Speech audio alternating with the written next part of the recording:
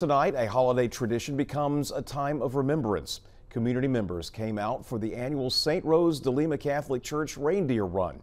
This year, people not only walked to support the church, but also for Bay St. Louis officers Branden Estorffe and Steven Robin, who were recently killed in the line of duty. Leslie Rojas has the story.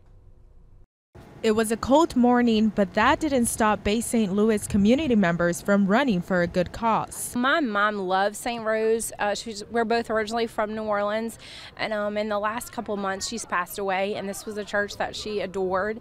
This is the third year St. Mary de Lima puts on the Reindeer 5K run and walk.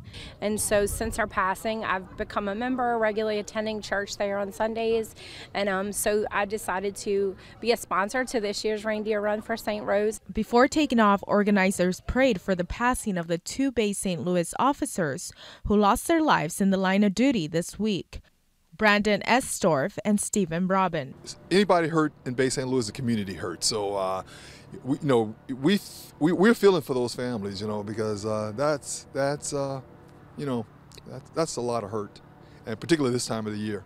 Runners also showed their support for the two officers. I mean, anything to support our police officers, all law enforcement. It's just a, it's a horrible thing that happened, and you know, anything I could do to support, you know, law enforcement, um, you know, I'm up for it. The um, father of one of the officers lives in my neighborhood in Gulfport, and we saw this was going on here today in um, Bay St. Louis, so we decided to come over to provide our support and um, do some uh, mother-daughter activity just to kind of bring in the Christmas season and, and still mourn the loss of the officer. So church member Marie Singleton says the church is organizing an event to help.